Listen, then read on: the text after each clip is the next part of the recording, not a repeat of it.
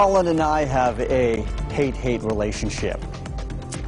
Especially mulberry. We just do not like each other at all, right? We have high readings for mulberry, ash, and now juniper saying, hey, I want to jump in the mix too. So that's what we're seeing outside right now. Air quality in the moderate category, it's been good lately, but the reason why we're seeing moderate readings is because the winds have kicked up and it's blowing around a little bit of dust and it's blowing around these guys too, all right? It's just that time of the year. Current temperatures outside 79 in Centennial Hills, Summerlin 74 for you, 81 downtown in North Las Vegas, nice. 78 for Sunrise Manor.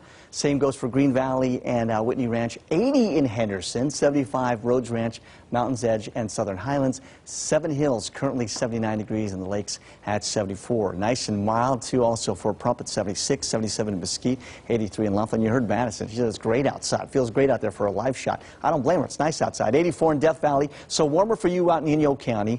Uh, clear skies, at least mainly clear skies for us right now because there are clouds to the north. We took out the satellite because we just wanted to show you the radar and show you how dry it is, but there's still moisture and rainfall in San Joaquin Valley changing over to snow in the Sierras. If we could just get some of this to move over to us, that'd be great.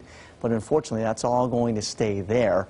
The low way off on the Pacific Northwest, but this is what we call the trough, this big dip here in the jet stream.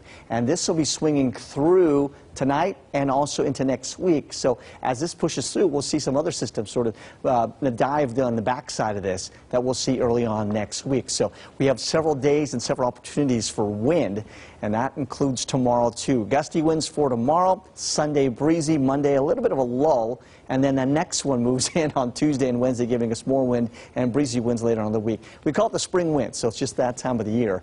As far as tomorrow goes, yes, it will be another gusty day, especially midday this time and beyond, and then we'll see those winds decrease a little more tomorrow night. So that's your forecast for tomorrow. But for tonight, prepare for those gusty winds still still be around. 58 degrees, partly cloudy skies. Tomorrow, 71. Windy and cooler, but it'll be sunny. Those gusts up to uh, 35 for tomorrow.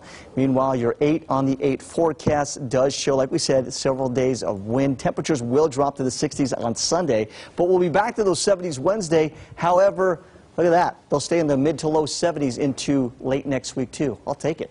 That's your most accurate forecast. We'll see you guys at 9. Christian, over to you.